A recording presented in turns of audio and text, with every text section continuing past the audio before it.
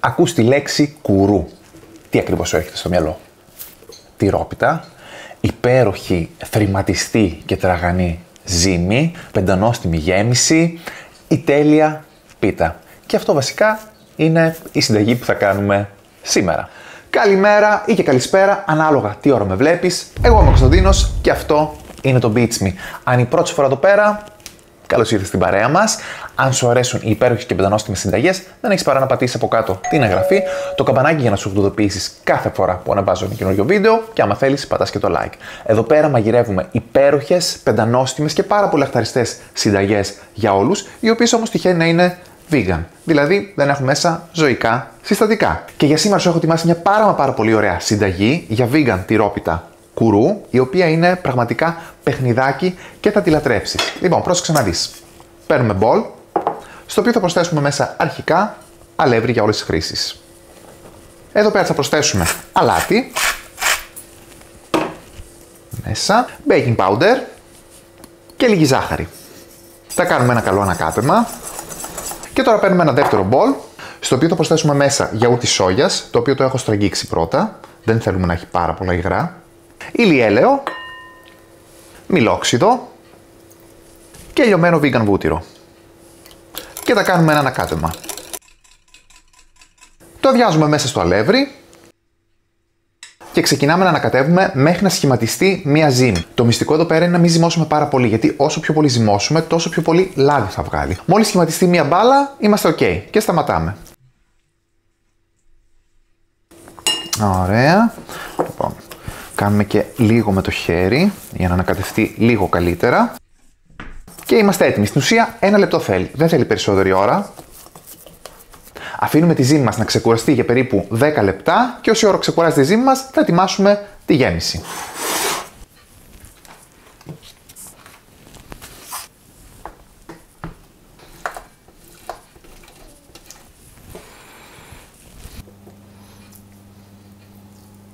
Μιλάμε η φέτα από την Green Vita Spine.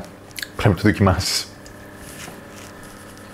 Λοιπόν, στη γέμιση πρόσθεσα τη μοτσαρέλα της Green V, όπως επίσης και την ε, φέτα, Greek style, η οποία είναι πραγματικά υπέροχη.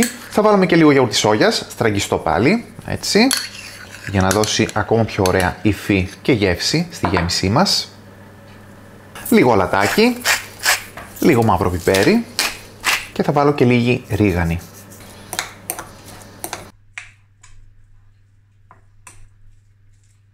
Εν τω μεταξύ, όλες τις λεπτομέρειες της συνταγής, εκτέλεση, υλικά, δοσολογή κτλ. κτλ. θα τις βρεις στο link που έχω αφήσει στην περιγραφή, όπως επίσης και στο πρώτο σχόλιο από κάτω. Παίρνουμε τη ζύμη και τη χωρίζουμε σε 8 ίσα κομμάτια.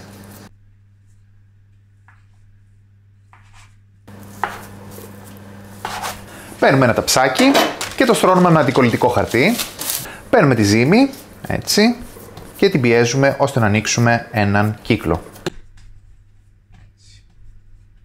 Βάζουμε στη μέση λίγο από τη γέμιση, έτσι, και το κλείνουμε. Ωραία. Πιέζουμε λίγο γύρω-γύρω, ώστε να κολλήσει. Και έτοιμο το πιτάκι μας. Αυτό ήταν. Εύκολο και απλό. Και το τελευταίο, το βάζουμε εδώ, έτσι. Τώρα αν θέλουμε με ένα πυρουνάκι σχηματίζουμε και το σχεδιάκι εδώ γύρω. Αυτό δεν χρειάζεται να το κάνουμε, δεν είναι απαραίτητο. Εγώ ωστόσο θα το κάνω. Έτσι. Και τώρα μεταφέρουμε στο φούρνο και ψήνουμε για περίπου 20 λεπτά. Έτοιμα λοιπόν και τα πιτάκια έχουν ξεροψηθεί, έχουν πάρει υπέροχο χρώμα και πραγματικά ανυπομονώ να τα δοκιμάσω γιατί πρέπει να έχουν γίνει σούπερ. Καταρχάς, όπα, και λίγο.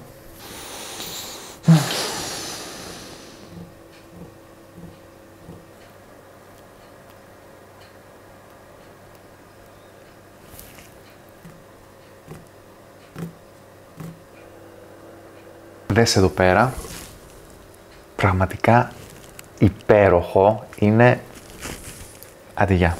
Λοιπόν, το κόψουμε λιγάκι στη μέση να δω πόσο είναι μέσα.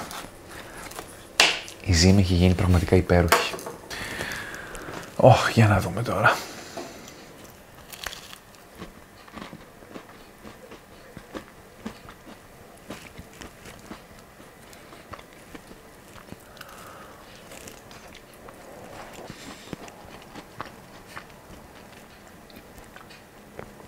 Η ζύμη είναι πεντανόστιμη, είναι έτσι θρηματιστή και έρχεται και λιώνει με στο στόμα. Η γέμιση υπέροχη. Αυτά τα πιτάκια πραγματικά θα τα λατρέψεις. Δεν υπάρχουν. Πω. Τι άλλο να ζητήσει κανείς; Τέλεια, πάρα πολύ εύκολα, vegan, τυροπιτάκια κουρού. Αυτό ήταν λοιπόν και για σήμερα. Ελπίζω να σου άρεσε το βίντεο και αν σου άρεσε, ξέρεις τι πρέπει να κάνεις. Πατάς από κάτω το like, την εγγραφή και το καμπανάκι για να σου έρχονται κάθε φορά που ανεβάζω ένα καινούριο βίντεο. Αυτό είναι κάθε Παρασκευή στις 11. Τη συνταγή, όπως πάντα, τη βρίσκεις στο link που έχω αφήσει στην περιγραφή και στο πρώτο σχόλιο. Αν κάνεις τα πιτάκια, μην ξεχάσεις. Βγάζεις φωτογραφία, ανεβάζεις στα social και κάνεις tag beats me ώστε να το δω. Επίσης θα περιμένω από κάτω και τα σχόλιά σου, να μου πεις τις εντυπώσεις σου και εμείς θα τα ξαναπούμε την επόμενη εβδομάδα. Και μέχρι τότε να θυμάσαι. Η ειρήνη ξεκινάει από το πιάτο σου.